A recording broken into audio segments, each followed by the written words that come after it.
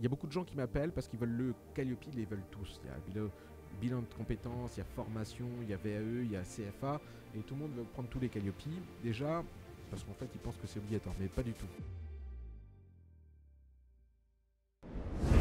Hello tout le monde, bienvenue sur cette nouvelle vidéo de rapport Calliope, là où on décortique les rapports Calliope que vous m'envoyez et j'en ai reçu un nouveau et justement on va pouvoir le décortiquer ensemble aujourd'hui et je vais pouvoir vous donner bah, justement les conseils qui vous permettront d'éviter d'avoir les mêmes erreurs que notre ami qui en a eu et qui euh, pas dû en avoir.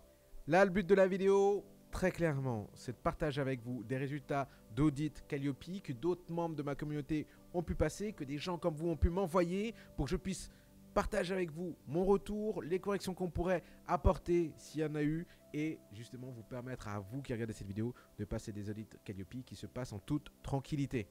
Si vous aussi vous voulez qu'on commente votre rapport d'audit, si vous voulez partager pour que le plus de monde possible soit prêt pour Calliope grâce à vous et apporter votre petite contribution à ça, eh bien sachez que vous pouvez m'envoyer votre rapport d'audit à contact-formateur-pro L'adresse mail se trouve en dessous de cette vidéo, au-dessus, à droite, à gauche, peu importe. Vous trouverez une adresse mail à tout moment et vous pourrez nous envoyer votre rapport d'audit. Je le partagerai avec tout le monde. J'apporterai mes appréciations et tout le monde pourra être le plus prêt à Calliope grâce à vous.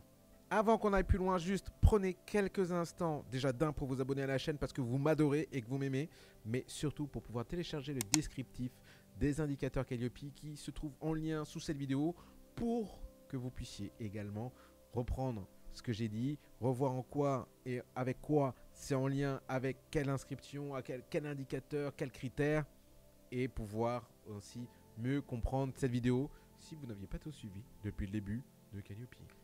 Et alors là, chose exceptionnelle, on a un rapport d'audit pour un audit Calliope pour du bilan de compétences et on a donc en visu deux erreurs majeures et une mineure à corriger pour pouvoir déclencher l'acceptation de l'audit, l'acceptation du Calliope. Donc ça va être très simple. Alors là, le problème principal qui s'est présenté, c'était que la personne qui a voulu obtenir Calliope pour le bilan de compétences ne semblait pas avoir déjà les compétences pour faire du bilan de compétences. On va reprendre directement ce que nous a dit le prestataire d'audit. Euh, force, il met pas de force et pourtant euh, la, personne qui a envoyé ce dossier-là est quelqu'un de, très compétente. Alors faiblesse, euh, entre définition des objectifs du bilan de compétences et suivi l'accompagnement, l'évaluation et l'atteinte des objectifs, structuration des documents associés. Donc en fait, on comprend que la faiblesse ici, c'est le manque d'organisation, de préparation sur une offre bilan de compétences, euh, cohérence des documents, ok, et compétences associées à la personne qui va donner le bilan de compétences chez eux. Alors, de quoi on parle exactement? Alors, première non-conformité, la non-conformité mineure, ce qui n'empêche pas d'obtenir Calliope. Eh bien, cette non-conformité, c'est parce que la personne avait préparé un dossier, un document pour mettre euh, en avant son offre bilan de compétences, mais sur le document, eh bien, qu'est-ce qui s'est passé? Il manquait euh, la preuve de diffusion publique du document, donc sur un réseau social ou sur un site internet.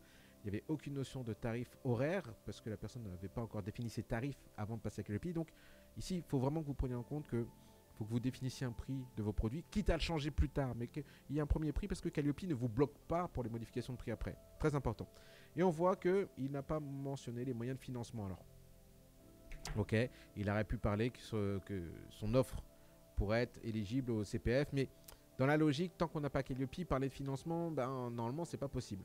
Donc ici, je comprends ce que l'auditeur a voulu dire, mais voilà. Et, mais en même temps, je ne suis pas auditeur, donc euh, je ne pourrais pas faire ce commentaire. Mais alors, là, vous, dans votre situation, ben, comment faire en sorte de ne pas avoir de non-conformité mineure?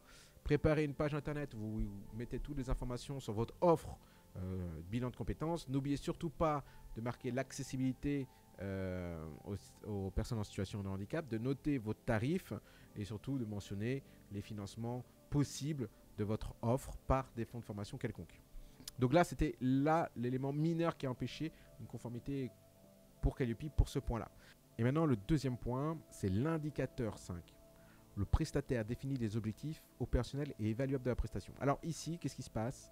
C'est que pour une non-conformité majeure, le candidat qui a passé l'audit n'avait pas défini d'outils permettant d'évaluer la personne, son client, avant euh, son achat. Et donc, il manquait toute cette préparation au bilan de compétences que devrait faire une personne qui a déjà fait des bilans de compétences ou qui compte proposer une prestation de bilan de compétences. Il y a beaucoup de gens qui m'appellent parce qu'ils veulent le Calliope, ils les veulent tous. Il y a bilan, bilan de compétences, il y a formation, il y a VAE, il y a CFA, et tout le monde veut prendre tous les Calliope.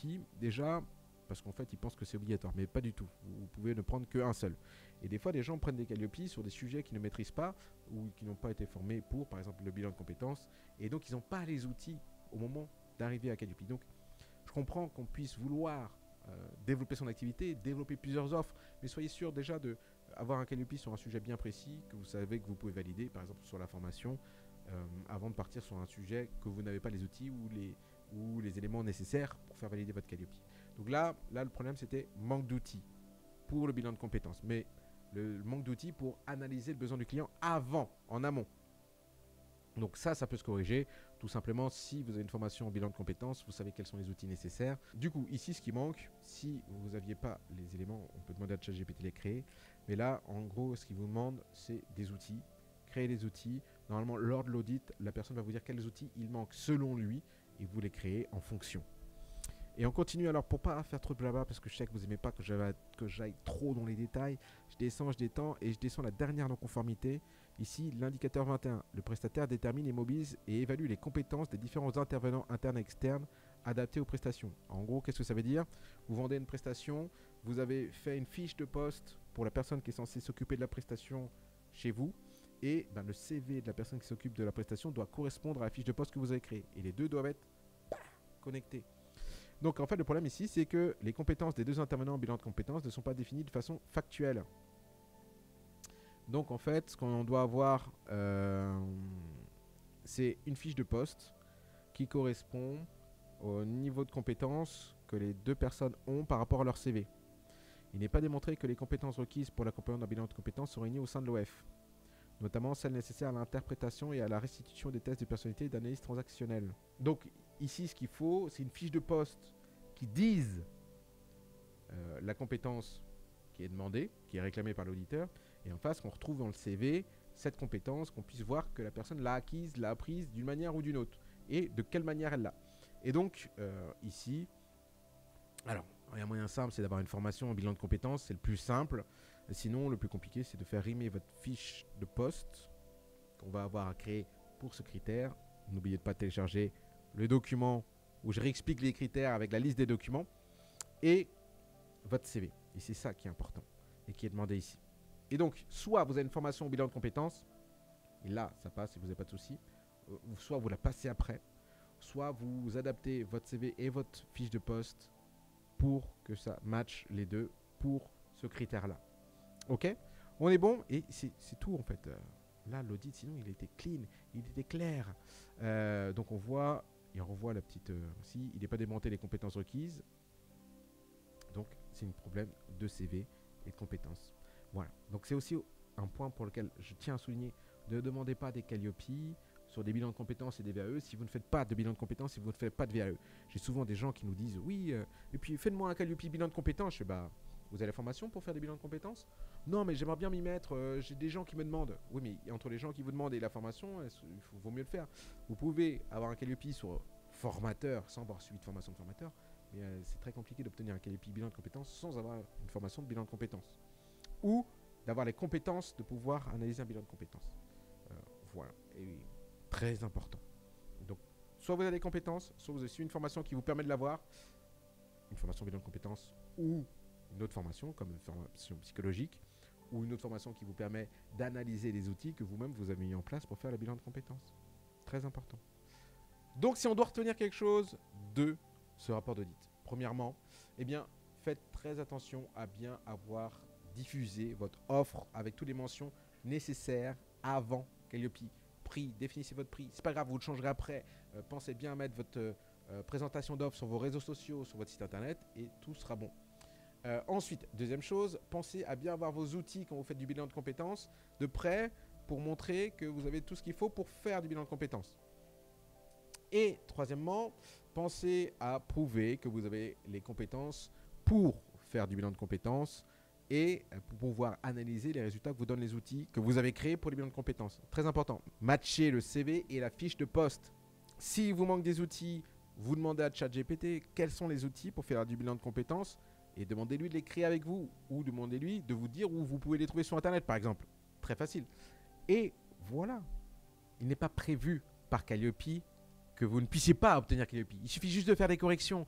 Donc j'ai envie de dire, chaque Calliope est différent, chaque auditeur est différent, chaque euh, audit de Calliope est différent, mais il y a bien une chose qui est constante, c'est que c'est pas grave s'il y a des erreurs, il suffit de les corriger et on vous dit comment faire pour les corriger, ou sinon vous trouvez la réponse sur internet, ou c'est l'auditeur qui vous dit quoi faire, même s'il n'a pas le droit de le faire, mais il le fera parce que c'est un mec sympa, comme moi. Si vous voulez que j'analyse d'autres rapports d'audit, si vous voulez que j'analyse d'autres points, n'hésitez pas à me le dire en commentaire. Dès maintenant, faites-le maintenant avant que vous oubliez. Merci d'avoir regardé cette vidéo. Vous pouvez vous abonner après le bip sonore. Vous pouvez liker, vous pouvez partager, vous pouvez commenter, vous pouvez la regarder une deuxième fois parce que vous avez vraiment apprécié mon style. Et en tout cas, je vous remercie et je vous dis à très vite dans une prochaine vidéo. Allez, ciao